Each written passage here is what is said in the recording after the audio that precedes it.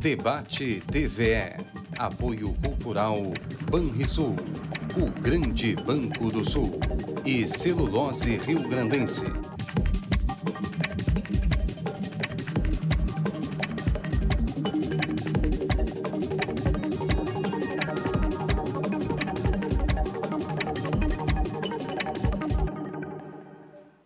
Olá, muito boa noite. No debate de hoje, nós vamos discutir a conjuntura política do país. Mergulhado numa tremenda crise política, o governo do presidente Temer tenta aprovar as suas reformas no Congresso Nacional e ainda manter a estabilidade econômica. Esta tarde, no Palácio do, o Palácio do Planalto, no, aliás, melhor, no Palácio do Planalto, o presidente recebeu oficialmente a notificação da Câmara sobre a denúncia da Procuradoria-Geral da República pelo crime de corrupção passiva. Esses fatos serão analisados no programa de hoje e muitos outros fatos também estarão aqui na nossa discussão. Nós estamos recebendo hoje o presidente do Livres Porto Alegre, o Juan César Bühler Saavedra, e o presidente estadual do PSOL, o Israel Dutra. Este programa ele está sendo transmitido ao vivo nas redes sociais, também pelo site da TVE, e você é o nosso convidado a participar dele, a interagir aqui com a gente, com os nossos convidados, através do WhatsApp 984-516352. Rua, é só um, um, esclarecimento. O Livres, ele é ó, atualmente uma tendência do Partido Social Liberal, mas já está se tornando quase que assim uma tendência que já está tomando conta de todo o partido. Exatamente, o Livre. Boa noite, surgiu... sejam bem-vindos. Boa noite, Marilena, boa noite, Rael, boa noite, telespectadores. O Livres é uma tendência interna do Partido Social Liberal que surgiu em janeiro do ano passado com a ideia de resgatar os valores liberais que uh, promoveram o surgimento do Partido Social Liberal, mas que infelizmente uh, pelas más práticas da velha política, sendo deixados de lado em nome de outros, outras prioridades. Então, emendando um pouquinho a tua participação, começando contigo, como é que tu estás aí? Como é que vocês estão vendo no partido, estão analisando o que está acontecendo lá em Brasília? Pois é. Ah, o Brasil hoje vive um momento sui generis, a gente estava até comentando aqui antes, será que a gente já viveu um momento tão crítico na nossa história? Olha, eu acredito que não. nós temos um presidente da República em exercício e que foi denunciado pela Procuradoria-Geral da República numa petição inicial, numa denúncia consistente, com provas consistentes e que colocam no centro, do, no, no mais alto cargo da, da República Federativa do Brasil, uma graves denúncias contra um presidente que recebeu um empresário às escuras às 22h30 da noite na garagem do Palácio do Planalto, às escondidas. Então, é, é, o Brasil vive um momento muito delicado. O Livres, inclusive, já se manifestou, inclusive pela renúncia do presidente Michel Temer, para que ele. Ah, entendemos que ele não tem mais condições de exercer o mandato de presidente da República e promover as reformas que o Brasil precisa para que possa avançar economicamente, para que possa ter progresso social, enfim. Então, nesse contexto, nós acreditamos que o presidente Michel Temer deveria renunciar e que, seguindo o que a Constituição, a Constituição Federal prevê, eleições indiretas seriam convocadas para que, nesse momento de transição, nós pudéssemos levar o país até as próximas eleições de 2018 e, assim, e aí sim eleger-se um novo presidente da República para que possa apresentar o seu projeto de governo e aquele que for escolhido pelo povo brasileiro o faça. Tá certo. Olha só, o, Juan, o Juan é advogado e o Israel é um sociólogo, presidente estadual do PSOL. Vocês vêm de, de, de, uma trajetória bem diferente, de partidos com agendas bem diferentes, e eu te faço a mesma pergunta. Se vocês têm alguma coisa em comum agora, como é que vocês, como é que dentro do PSOL vocês estão analisando o que está acontecendo lá em Brasília? Bom, boa noite aos telespectadores e telespectadoras, a Maria Helena, ao próprio Juan. É, nós estamos vivendo talvez a maior crise política, ética e geral da nossa história. São 14 milhões de desempregados. Nós temos um presidente denunciado por corrupção passiva. Nós temos um ex-chefe do Poder Legislativo, como Eduardo Cunha, preso hoje em dia por conta da Operação Lava Jato. Nós temos um Congresso onde boa parte dos seus representantes estão denunciados.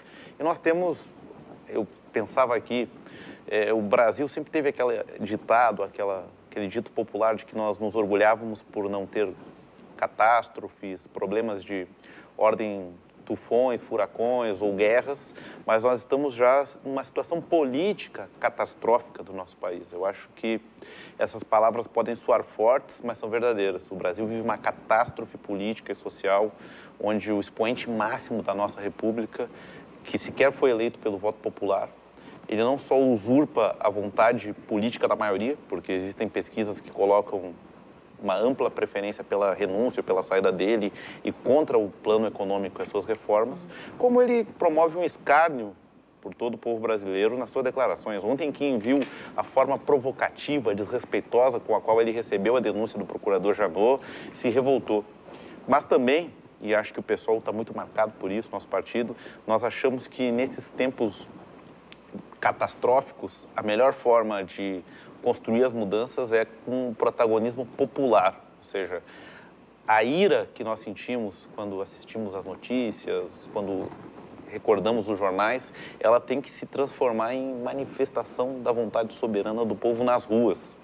As ruas falaram muito alto no Brasil nos últimos anos. Em junho de 2013, nós tivemos uma rebelião popular que massificou e uniu o país por direitos. Nós achamos que, novamente, as ruas, que inclusive é, com o impeachment do Collor, com evidências muito o impeachment da própria menos graves, Dilma Rousseff. É, foram às ruas para poder. Por que, que vocês acham que não vai, não, o povo não vai às ruas agora? O, o, o, próprio, o próprio movimento do, do, Partido Liberal né, chamou, fez tanto chamamento no tempo do impeachment da presidente Dilma, e por que agora uh, não, não consegue mobilização neste momento? Ah, nós, o, o Livres esteve na rua para exigir a renúncia do presidente Michel Temer e defender a nossa posição de defesa da Constituição a favor das eleições indiretas. Uh, mas eu acho que, eu acredito que a população brasileira, ela, ela, se sente um pouco perdida nesse turbilhão de incertezas e ela não sabe muito bem para onde, que, onde ir. Tivemos as manifestações de junho de 2013 que mobilizaram Sim, o país inteiro. Ao longo de 2015 tivemos também as manifestações pró-impeachment que mobilizaram também o país inteiro. E uh, essa nova fase que, que deveria também ter a população na rua exigindo a, a renúncia do presidente Michel Temer e, e buscando as soluções uh, imediatas para a saída da crise, da instabilidade política, econômica, moral e tudo aquilo que a gente já está acostumado a falar.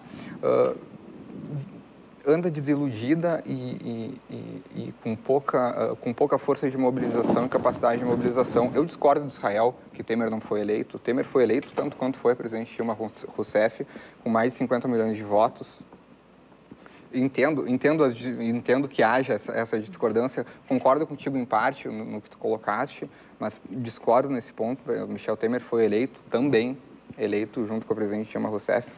Quem votou na Dilma votou no Temer também, mas uh, eu acredito que a, a, dificuldade de mobilização hoje está por essa, por essa, por esse desgosto da própria população claro. com toda a classe política. Deixa eu só aproveitar um, um pouquinho antes do, do, do intervalo, Israel. Uh, o, o, pessoal também é a favor da renúncia do presidente Não, Temer? Nós, nós somos a favor da queda do presidente Temer e da convocação de eleições diretas e gerais por todo o Congresso. Aí surge um ponto de, de, um ponto de dissidência. Nós achamos, inclusive, depois a gente pode voltar uhum. a isso, que o problema de, do, da população no sair às ruas, eu acho que é um pouco relativo, porque aconteceram muitos movimentos de massa nesse país. É, a greve geral do dia 28 de abril foi a maior greve geral da história do país. No dia 24 de maio nós tivemos uma grande manifestação e, claro, arrefeceram os ânimos dessa última manifestação de maio até aqui. Nós acreditamos que boa parte dessa dificuldade se deve à falta de alternativa e muitas vezes na confusão política, não da população, que é muito sábia, mas dos próprios partidos políticos que a gente chama de casta. Por exemplo, na defesa do TSE, na cassação da chapa Dilma e Temer. Nós achamos que muita gente teve a favor de caçar Dilma e não queria caçar o Temer. E muita gente que diz que queria caçar o Temer não queria caçar nenhum dos dois. Nós achamos que ali o presidente Temer devia ser caçado e foi muito estranho e inconveniente ver que muitas vezes os advogados do PT e do PMDB estavam juntos contra essa cassação. Eu acho que isso gera uma confusão na população, um certo descrédito, que aí fica bastante difícil. Mas tá existem certo. lutas importantes e depois a gente pode até conversar Vamos. um pouco mais. Vamos, é que agora falando em política, daqui a pouco tem a propaganda política e nós A seguir, após a propaganda política, nós vamos continuar aqui com o debate. Você pode ir fazendo a sua pergunta e participando aqui com a gente, participando através do WhatsApp 984-516352. Depois da propaganda política, nós voltamos aqui com o debate. Aguardamos você. Voltamos ao vivo com o Debate TVE, que hoje discute a conjuntura política e os rumos do país. E hoje nós estamos recebendo dois jovens políticos, o presidente, do, presidente municipal do Livres, ou do Partido Social Liberal, o Juan César Biller Savreda, e o presidente estadual do PSOL, o Israel Dutra. Este programa ele está sendo transmitido ao vivo nas redes sociais e no site da TVE. E você pode participar através do WhatsApp, que é o 984-516352. E eu volto com pergunta de telespectadores para vocês. Olha só. O Bruno que também é um estudante jovem aí, ó, como vocês. O Bruno daqui de Porto Alegre pergunta: falar de eleições diretas para agora não seria inconstitucional, tendo em vista que a CRFB, agora a, a Constituição, isso, a Constituição, de, a Constituição de 88 eh, prevê para o segundo biênio a eleição indireta? Nós achamos que é um contrassenso é, tirar o Temer e deixar nas mãos de um Congresso tão ou mais questionado do que ele os rumos do país. Nós achamos que a situação realmente é muito grave e que Temer, articulado com Eunice de Oliveira, com Rodrigo Maia, todos eles são parte do que a gente chama de casta. Portanto, o mais sensato a ser feito é convocar não só eleições diretas para presidente, como eleições diretas e gerais para todos os cargos, porque existe um vício de origem no conjunto dessa casta, e eu falava antes. Mas aí abreviaria, abreviaria mandatos estaduais? E... Acho que, primeiramente, da presidência do Congresso, porque é um contrassenso. Tiramos o Temer, por isso que eu achei um contrassenso a manifestação do PSL, que corretamente colocou fora Temer, mas defendeu quase que unicamente indiretas já nós achamos que colocar essa responsabilidade para um Congresso tão questionado, que não só tem indiciados na Operação Lava Jato, como não consegue sequer chegar a um denominador comum com relação à denúncia do Temer. Com o fato de que existe para nós uma grande articulação que o Gilmar Mendes, a gente conversava aqui um pouco no intervalo, do ponto de vista do TSE, digamos, é o grande prócer dessa unidade, dessa casta. Nós achamos que reivindicar o Congresso esse poder é algo que está na contramão do que pedem as ruas, que é o fora Temer, que é fora todos corruptos, que é parar as reformas imediatamente e trabalhar com a perspectiva de um novo país, de um novo projeto que recomece, que refunde. A bem da verdade, uma boa ideia seria a discussão de uma Assembleia Popular Constituinte, com candidatos que não necessariamente possam vir dos partidos, mas possam ser candidatos avulsos, com uma reforma política democrática, que não é a que está sendo feita agora pelos grandes partidos, que é uma reforma política simplesmente para reproduzir os seus próprios privilégios. Nós achamos que tem que mudar tudo, não basta só mudar uma ou outra regra do jogo, tem que virar a mesa, virar o tabuleiro e o Fora Temer tem que ser o ponto inicial disso. Eu, eu acredito que um rompimento uh, uma convocação de eleições diretas, nesse caso, nesse momento do país, seria, em primeiro lugar, um desrespeito à Constituição, e eu também não sou fã dela. Eu acho que nós, o Brasil precisa sim passar por um processo de uma nova Assembleia Constituinte. É claro que nós temos visões diferentes do que, que seria uma Constituição adequada para o país, mas eu também concordo. O Brasil por que precisa. Que tu, porque o, o que que na Constituição hoje não, não Olha, eu acredito que a Constituição, que a Constituição brasileira é talvez a grande responsável pela criação desse uh, Estado brasileiro totalmente agigantado e com braços e tentáculos em todos, em todos os locais. Uh, e, e, cada vez mais a Constituição permite que isso aconteça. Então, uma mudança, uma, uma mudança, de um, uma mudança constitucional, uma reforma constitucional para que limite, por meio da Constituição, de fato, o alcance do, do poder da política na vida de todos nós que é o que a população reivindica. A população tem interesse, a população não quer mais ter o seu destino entregue nas mãos de uma classe política ou de uma casta, como Israel falou. Ela não deseja mais isso, ela não deseja que o Congresso Nacional possa legislar sobre todo e qualquer tipo de assunto. Ela não deseja que a Câmara de Vereadores, por exemplo, como uma notícia que eu li essa semana, que uma Câmara de Vereadores obrigue que na cidade todos os estabelecimentos que fazem banho e tosa coloquem câmeras de televisão para câmeras de televisão, desculpa, câmeras de monitoramento para que isso seja transmitido. Uh, é, é preciso ter é preciso ter noção da responsabilidade do que é legislar sobre o comércio, legislar sobre o trabalho, legislar sobre, sobre a educação. E o Brasil não tem. A cultura legislativa brasileira é, é uma cultura de legislar a respeito de tudo. Então, eu acredito que essa limitação deve partir da própria Constituição Federal. É ela que dá, a, ela é a carta magna, ela é que dá sustentação para para que nós possamos conviver em sociedade. E retomando a questão da eleição direta, eu, eu acredito, é, é, retomando a questão da eleição Só direta, né? a convocação de uma eleição, a, a, uma, uma eleição direta implicaria consequentemente numa mudança da Constituição Federal. Seria um rompimento da ordem, seria um rompimento claro da ordem constitucional a partir do momento em que tu desrespeita, tu descumpre, tu não aplica aquela regra que já foi pensada anteriormente pela Assembleia Constituinte de 85. E, e eu, eu tenho uh, um, um, grande receio do que, que, poderia vir a ser uma nova Constituição hoje, principalmente no momento de, que nós vivemos, nós vivemos um momento de, de polarização, um momento que os ânimos estão, uh, estão uh, uh, em, acirrados. Então, eu também tenho muito receio de que tipo de Constituição nós, nós criaríamos. Nós criaríamos uma Constituição melhor que a de 88? ou seria talvez uma condição pior?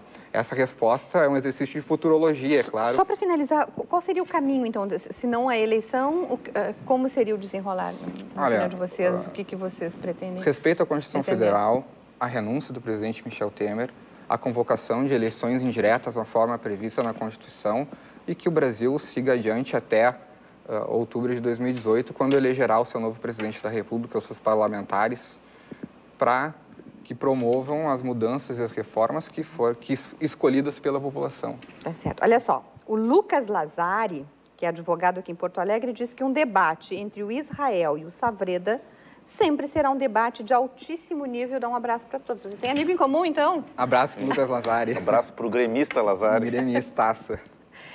Agora, vamos, retomando o assunto aqui, um, essa semana foi anunciada uma nova procuradora-geral pelo presidente Temer a, a, do Ministério Público, Raquel Dodge. O que, que parece para vocês, como dentro dos partidos, como vocês analisaram a, o anúncio desta... Eu acho que essa casta, que o Temer é o cabeça dessa casta, ela quer, tem dois grandes objetivos, que é estancar a sangria, como falou o Jucá, ou seja, acabar com a Lava Jato e aprovar as reformas. Nós achamos que a Lava Jato deve continuar, deve investigar, deve punir e nós devemos parar as reformas. Como se inscreve esse contexto da Procuradoria. Hoje, o Rodrigo Janot, ao contrário do Gilmar Mendes, é quem tem enfrentado publicamente, de forma muito corajosa, muito adequada, o Temer. Ontem, inclusive, eu quero destacar uma posição muito positiva do Janot, que foi que ele é, interpelou judicialmente as terceirizações. Ou seja, ele, por enquanto, o pedido da PGR é que a lei das terceirizações fique na gaveta. Não, não existe essa lei que nós achamos antipovo. Então, a perseguição que existe ao Rodrigo Janot por parte do governo Temer se expressou na escolha da segunda mais votada. Nós achamos que o mais votado dessa lista tríplice devia ser quase que automaticamente referendado pelo poder presidencial. Isso se coaduna com a política de estrangulamento das verbas da Polícia Federal que o governo vem fazendo. A questão da crise dos passaportes foi só uma expressão disso. Ou seja, no Brasil existem dois vetores em movimento a ideia da casta acabar com a Lava Jato, como falou de novo o Jucá naquele célebre áudio, estancar a sangria e a ideia por parte do empresariado de aprovar reformas que tiram os direitos do povo. Nós somos a favor das investigações e completamente contrário a essas reformas. Uhum. Ó, eu vou ler aqui um depoimento aqui da Giane, daqui de Porto Alegre, ela é funcionária pública. A Giane diz para, olha, pergunta para o debate. Eu não sei bem se é uma pergunta ou se ela está afirmando até para vocês fazerem, falarem uh, as posições dela. O povo só tem as ruas para reivindicar. E principalmente o povo tem que ter, acima de tudo, memória. Pegar a lista de quem votou a favor destas reformas e a lista de quem está efetivamente na Lava Jato. E, por fim, a reforma política com um outro Congresso, porque este que está aí não tem moral, uh, com raras exceções, como alguns deputados do PSOL, PCdoB e alguns petistas. Eu acho que já sabemos a posição dela também. Comentários? Bom, questão das ruas. Uh, retomando aquele ponto que a gente discutíamos antes, eu acredito que sim, a mobilização uh, da sociedade de forma geral é, extremamente importante para que o Brasil atravesse essa crise, para que o Brasil supere essa crise política. Uh, tem também deputados que estão na Lava Jato que foram contra as reformas. Existem também. Não são do pessoal. Não são do pessoal, não são do pessoal, mas tem também deputados que, que, que estão na Lava Jato e foram contra as reformas. Acredito que a gente vai debater talvez as reformas que, um pouco Vamos começar agora, vamos começar agora. Eu ia perguntar para vocês, assim, até abrir o programa de hoje falando que uh, mesmo nesse mar de lama e, mes, e, e, e mesmo nessa tremenda crise política, o presidente tem o Congresso nas mãos e está fazendo, está conseguindo aprovar as reformas. Ontem mesmo, na Constituição de, de Justiça, de, uh, foram aprovadas as reformas trabalhistas. Ela está andando. Né? Uh, como é que vocês analisam? Eu acho que, inclusive amanhã, faço um chamado público, amanhã nós temos uma greve que justamente pauta isso é para paralisar imediatamente as reformas para sair o presidente. Nós achamos que a reforma previdenciária acaba penalizando justamente... Essa ainda não está, né, é, ela Pode tá, ser que nem vá. Mas é, são as duas grandes reformas né, que tem se falado. As duas, os dois carros-chefes são a reforma trabalhista e a reforma previdenciária.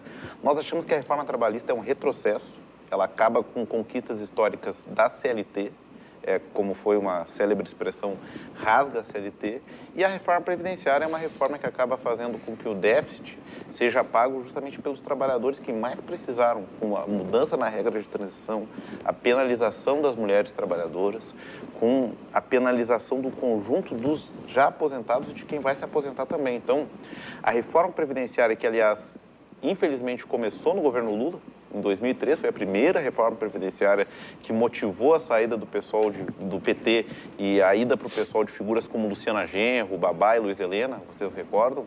Foi uma reforma previdenciária que já cortou uma série de direitos. Essa nova reforma previdenciária ia ser para acabar completamente a ideia de uma previdência sustentável, equilibrada e voltada para a maioria da população. Então, nós somos contrários a reformas e somos parte de um movimento que já desencadeou greves, que já fez uma série de protestos que combinam fora Temer com a luta contra as reformas e amanhã uma greve nacional que está nessa pauta e nós estamos mobilizados aí, nossos agentes políticos, nossas lideranças, para garantir que essa greve seja um êxito. Eu queria só que tu comentasse, então, aqui um pouquinho a questão das reformas, depois eu tenho até uma pergunta de telespectador para ti. Com relação, uh, em primeiro lugar, eu não acredito que o Brasil precise apenas de uma reforma da Previdência e uma atualização e uma reforma na legislação trabalhista. O Brasil precisa muito mais que isso. O Brasil precisa avançar muito mais que isso. O Brasil precisa de uma reforma do Pacto Federativo urgentemente. O Brasil precisa ter uma reforma tributária significativa, importante. Com relação à Previdência, o projeto que hoje tramita no Congresso Nacional não é nem uh, a sombra daquele primeiro projeto que foi apresentado pelo governo Michel Temer no início uh, de todo esse debate. Né? Foi um, é um projeto que já foi alterado diversas vezes e que exclui diversas outras categorias e foca muito mais no, trabalha, no trabalhador urbano.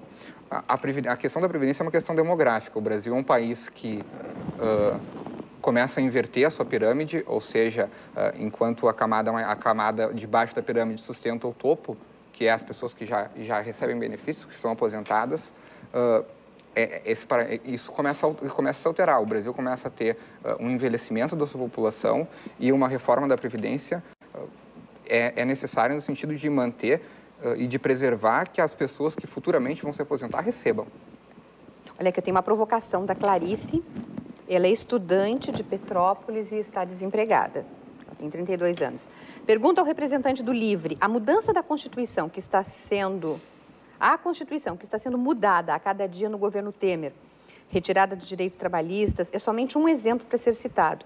Se é defendida a reforma da Constituição pelo LIVRE, além de direitos historicamente conquistados, quais outros que pretende retirar? A, a, o governo Temer não tocou no artigo 7 da Constituição, que é referente aos, aos direitos sociais e que ali está previsto a férias, 13 terceiro. A reforma trabalhista que se debate não é uma reforma que toca nesses, nesses pontos. A reforma trabalhista não uh, toca no 13º, a reforma trabalhista mantém as férias com, com um terço constitucional, a reforma trabalhista mantém o FGTS, que alguns consideram um direito, eu não considero, mas é uma posição uh, uh, ideológica também, eu não considero o FGTS um direito, mas a reforma trabalhista não toca na Constituição Federal. A reforma trabalhista altera a, a consolidação das leis do trabalho.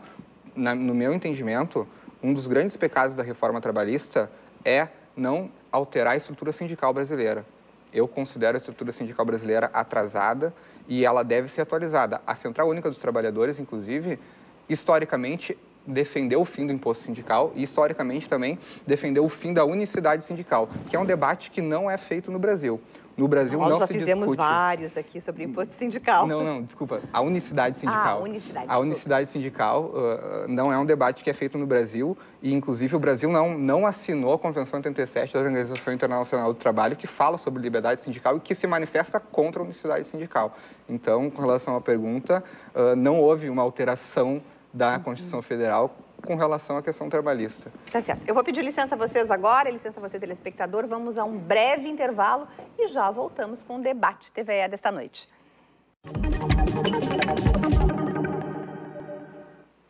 A conjuntura política, os rumos do país é o nosso assunto hoje. Estamos recebendo o presidente municipal do Livres, o Juan César Biller Savreda, Saavedra. Saavedra. Agora acertei. E conosco também o presidente estadual do PSOL, o Israel Dutra. O nosso programa é transmitido ao vivo nas redes sociais, no Facebook. Quem está no Facebook pode comentar ah, durante o programa. E também é transmitido no site da TVE. E você participa pelo 984-516352, que é o número do nosso WhatsApp. Eu estou falando sempre que é a conjuntura política, mas as reformas políticas, as posições de vocês, eu gostaria uh, que vocês também falassem e trouxessem aqui para os telespectadores um pouco do que cada um pensa com relação às reformas políticas que poderiam ser feitas, já que o que está aí não agrada nenhum dos dois, a gente viu que é comum.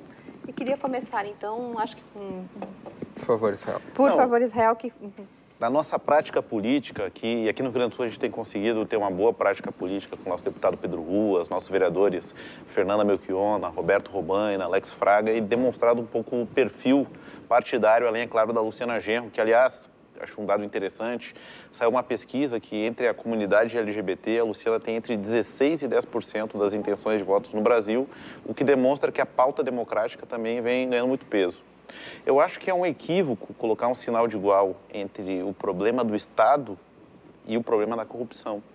O problema da corrupção hoje no Brasil não é que tem muita política, mas é que a política está privatizada por um grupo de agentes que acaba fazendo os interesses das grandes empresas. E acho que o Joesley acabou revelando nos infortúnios dos diálogos dele com Temer e nos próprios diálogos com Aécio Neves, que era também um dos grandes nomes da direita brasileira, justamente essa relação imbricada, difícil, entre os agentes econômicos, ou seja, os corruptores, os corruptos, que são parte dessa casta política. Então a gente tem conseguido defender uma ideia de Estado menos privado e mais público. E acho que o grande exemplo disso foi a batalha empreendida pelo movimento dos servidores, aqui no ano passado a gente relembrava, para defender o patrimônio público no seu aspecto mais geral. E falo da TVE, que foi, digamos, a grande joia nossa aqui, o grande orgulho do Estado, que o governo Sartori entregou, extinguiu, ou está tentando ainda extinguir, porque é uma luta que está em curso, que demonstra que pode sim existir Estado, pode sim existir empresa pública com qualidade. Tanto que estamos aqui discutindo hoje uma, uma, uma discu- uma discussão de ideias, né? de ideias, pluralista, e eu acho que é muito importante que a gente coloque que o problema não é existir Estado. O problema é como que essa gestão de Estado pode ser referendada e voltada para os mais pobres, para os mais necessitados, que possa ter qualidade. E acho que a TVE é um grande exemplo disso. Não só a TVE, as fundações, a FEE, o trabalho da FEPAGRO, tudo que foi construído com muito suor e capacidade de inteligência dos servidores e que houve um retorno para a população gaúcha, que eu acho que essas ideias translocadas, neoliberais do governo Sartori acabam por prejudicar. E eu acho que é justamente essa corrente de pensamento neoliberal que busca mais reformas contra o povo, mais ajuste, acabar com os sindicatos, acabar com a luta ideológica dos trabalhadores. Eu acho que a gente está na contramão disso. Tá. Antes de passar a palavra para ti sobre reforma política, sobre posição, tem a Giane quer te provocar de novo. Tá bom. Não, não, ela só, só- retomando, antes de falar da reforma política, ela pergunta assim, per- pergunta para o representante do Partido Livres por que ele é contra o FGTS. Vou fazer uma pergunta, desculpa, é Giane, né? Giane. Vou fazer uma pergunta para a Giane, então. Ah, a Giane se questionou sobre a FGTS, provavelmente ela é uma trabalhadora submetida às regras da CLT e que tem mensalmente o seu desconto no contra-cheque do Fundo de Garantia pelo tempo de serviço. Esse valor que é descontado mensalmente da Giane vai para uma conta gerida pelo, pelo conselho do FGTS e esse, e, esse, e esse valor que é depositado nessa conta é remunerado abaixo da inflação. Inclusive, há uma discussão no STF a respeito da taxa TR, que é aplicada hoje sobre o FGTS e que faz com que esse dinheiro não tenha nenhum tipo de, não, nenhum tipo de rendimento. Ele não é corrigido nem pela inflação.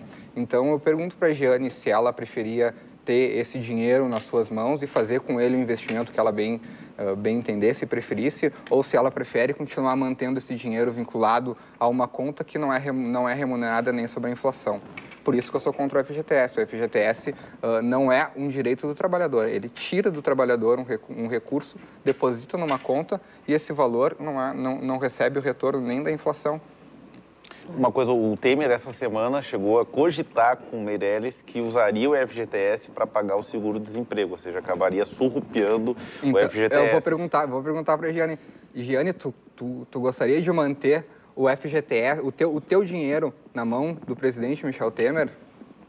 Mas aí que está, o problema de gestão, como eu falei, o direito garantido dos trabalhadores, como seguro-desemprego, o FGTS, uma série de conquistas, ele é para nós uma cláusula pétrea.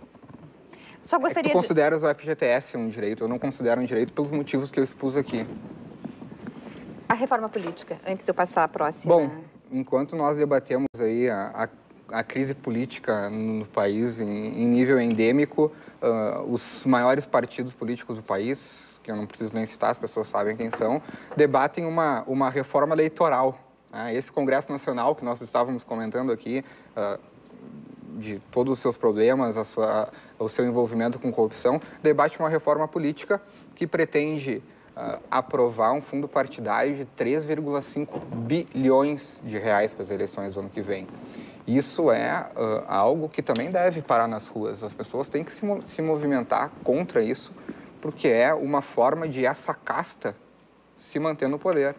E, e, e eu falo, acredito que falo também uh, uh, concordando com o pessoal nesse sentido, porque nós somos partidos pequenos, nós não somos, nós não somos grandes partidos, né? e nós não, nós não temos nenhum interesse que isso ocorra no país. Então, nós precisamos sim nos mobilizar contra uh, esse disparate que é aumentar o fundo partidário para 3,5 bilhões. O que a gente tem, na verdade, é que extinguir o fundo partidário. Olha só, o Eduardo Nunes, 22 anos, estudante de engenharia. Ele diz: precisamos, queria que vocês dois comentassem isso, uh, precisamos de mais políticos que defendam a redução deste Estado gigantesco. Esse Estado é gigantesco, qual é o tamanho? O que, que qual o tamanho que ele tem que ter? O que que eu acho que não é um problema do tamanho do Estado, um problema da função do Estado. Por exemplo, Muitos que defendem a redução em tese do Estado acabam colocando muita ênfase, para dar um exemplo da reportagem que estava passando anteriormente, da desocupação da Lanceiros Negros. Acabam retomando o Estado no seu aspecto mais truculento, que é a ideia da polícia, que é a ideia das forças de repressão. Nós achamos que o problema é de função. O Estado tem que servir para ter novas TVEs, novas FES, garantir educação, saúde, segurança pública. Essa onda antiestatista de direita, digamos assim, que eu acho que chegou num certo auge na França com Macron, para mim ela é uma nuvem passageira, como diria o Hermes Aquino. Ou seja, o Macron, que hoje é o ídolo dos sociais liberais, ele já tem muitos problemas na França, porque ele está querendo aplicar uma reforma trabalhista contra os trabalhadores. Houve um índice de abstenção altíssimo nas eleições francesas e boa parte dos ministros dele, já três ministros, caíram antes mesmo de completar o mês de governo por conta de escândalos de corrupção. Ou seja, muitas vezes eu acho que não é o caso do Juan, porque vejo ele muito conciso, muito articulado. O discurso contra o Estado, ele é uma nova roupagem para velhas ideias. Tamanho, Tamanho do, do Estado, Estado, né? Bom, eu até quero resgatar um, um, um comentário que... Que depois Israel, tem outra provocação para ti também. O né? Israel né? fizeste anteriormente com relação ao Joesley Batista. Uh, o Joesley Batista, o grupo JF Participações, do qual faz parte a JBS, recebe recurso subsidiado do BNDES desde 2002. Foram mais de 8 bilhões de reais aportados pelo governo, pelo Estado. O Estado pegou o, dinheiro, o seu dinheiro e ó, Joésia Batista, faça-se com, com esse dinheiro o que quiseres.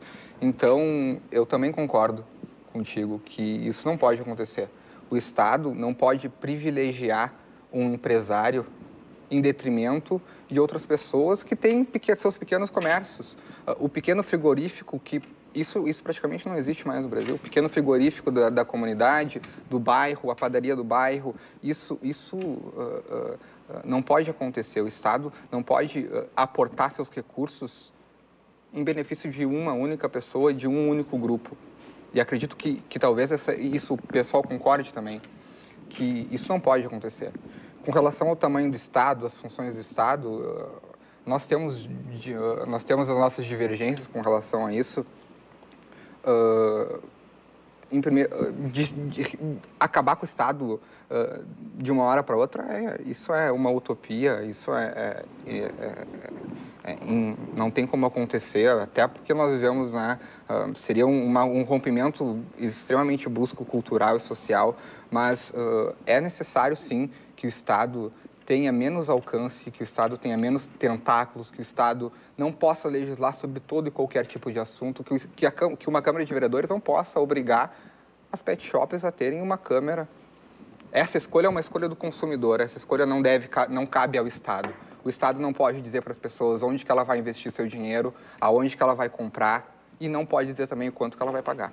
O Matheus Leite, 19 anos, estudante de Viamão. Muitos jovens, hein? Isso Muitos é muito jovens assistindo, acho que vocês aí, estão chamando que... aí, não? Acho que é tem? um programa que tem um público fidelizado, jovem. Estou lendo aqui, olha só. O Matheus gostaria de saber do amigo do Livres, porque ele acha que eleições indiretas, porque ele acha as eleições indiretas a melhor opção para o país. Será que a solução é entregar a ovelha aos lobos? E mandou um abraço e longa vida à TVE. Obrigada, Matheus.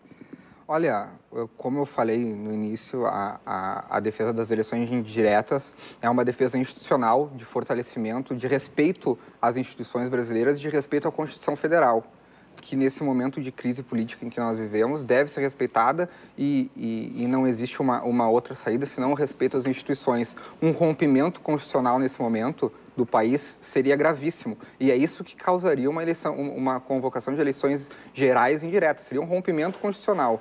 Aquele texto constitucional que vigeu até o momento e que eu não e que eu, como eu já falei aqui, não tenho uma simpatia, seria completamente rompido.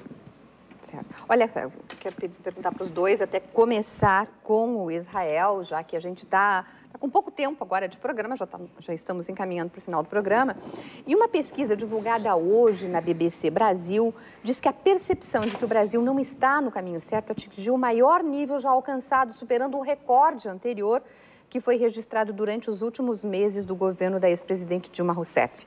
Essa pesquisa da consultoria Ipsos, divulgada nesta quinta-feira, fez um levantamento que 95% dos brasileiros acha que o país está seguindo no rumo errado. Comparando esses momentos, voltando um pouquinho ao começo do programa, uh, como sair desse momento, na opinião de vocês? Acho que o Temer, a única promessa que o Temer cumpriu, sendo muito franco, foi de unir o país. Ou seja, ele uniu 95%, da, popula 95 da população contra ele de, do tamanho das atrocidades que ele cometeu nesse tempo de governo. Qual eu acho que é a saída? Como eu falei, amanhã nós vamos ter um dia de greve. Nós achamos que, mesmo não sendo a greve ideal, que teria que ser uma grande greve geral, vai ser um dia importante de protestos e paralisações. Eu acho que não existe outra saída senão a rua. Em junho de 2013, a população brasileira, a juventude, os trabalhadores, as mulheres, as trabalhadoras mostraram ao país que se pode conquistar muito. Na época, eu lembro que os políticos todos ficaram pianinhos, né? Revogaram o aumento das tarifas, todo mundo está falando em educação e saúde padrão FIFA, se aprovaram uma série de leis importantes, inclusive de fiscalização mais rigorosa da vida pública. Eu acho que o caminho Aliás, o único caminho desses 95%, que eu diria até mais, 99%, é construir um novo junho, é como em 2013, com os jovens voltando às ruas e a gente conseguir mudar a agenda política do país. Ao invés de defender grandes reformas, defender uma grande taxação, por exemplo, dos ricaços, dos super ricos que não pagam impostos no nosso Brasil.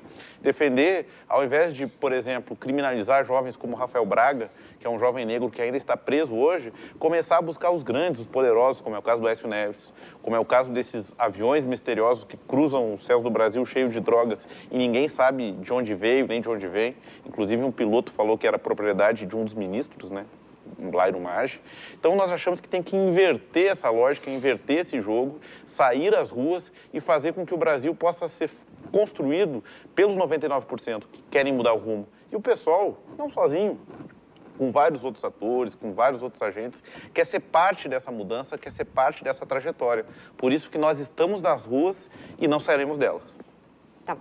Só para passar a palavra final, agora para o Juan, só que a réplica da Giane, que ela diz que considera, sim, o FGTS uma conquista trabalhista e que é utilizado na hora que o trabalhador mais precisa, quando ele é demitido e tem os Muito 40% bem. sobre esse valor. Ok, se ela acha.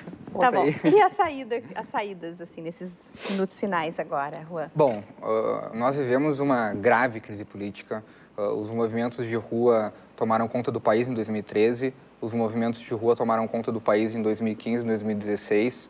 Uh, promoveram as condições políticas para que a presidente Dilma Rousseff sofresse o impeachment e é necessário que essas mesmas pessoas que, vão, que foram às ruas em 2015 e 2016 também saiam às ruas agora para exigir as mudanças a partir uh, de, de todo esse, esse emaranhado de lama que toma conta do país. Não há uh, uma, uma fórmula mágica e isso depende da sociedade, depende principalmente da responsabilidade com o voto, porque nós teremos eleições em seguida, então a responsabilidade com, com o voto é muito importante. As pessoas uh, querem mudanças, as pessoas querem mudanças, mas não se fará mudanças colocando os mesmos de sempre para legislar e para comandar o executivo. Tá então, uh, finalizando, para finalizar, eu acredito que uh, menos Estado não significa, significa mais sociedade. E é o que as pessoas querem. As pessoas querem mais sociedade, as pessoas querem ter, ser donas do seu próprio destino.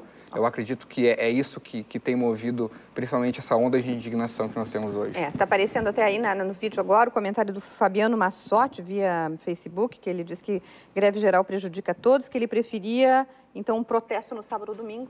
10 segundos, quer dizer alguma coisa? Não, acho que a gente tem que seguir mobilizados. Eu vou dizer tá. só que a gente gosta de papo reto e não cola em diretas. Tá certo, eu tenho que encerrar agora. Agradeço muito a presença de vocês aqui. Agradecemos, como sempre, a sua audiência dessa noite e lhe desejamos uma boa noite e até.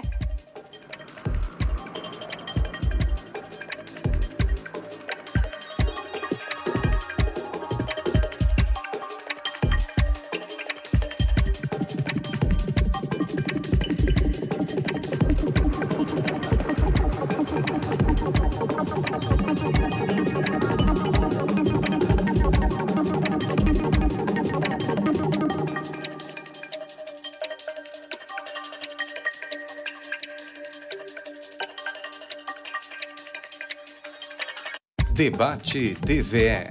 Apoio Cultural Banrisul. O Grande Banco do Sul. E Celulose Rio Grandense.